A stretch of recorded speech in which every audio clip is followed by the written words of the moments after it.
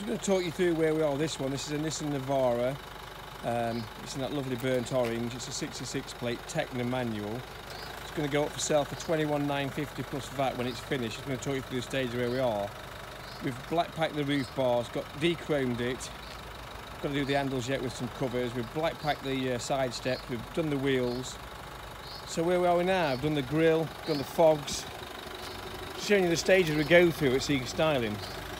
Now next stage is under seal, all-terrain tyres, uh, wide arch kit, roll bar, uh, tinted lights, uh, bonnet bra. We've added privacy glass already.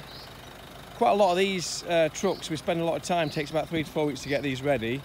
This is going to be a beautiful example, it's 20,000 miles, 66 plate.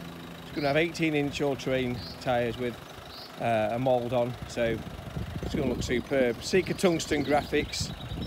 This one has leather, as you can see from the photos. Sat nav, and I'll tell you what, I'm really impressed with the driver. This. Visit Seeker Styling, and uh, in a couple of weeks it'll be ready.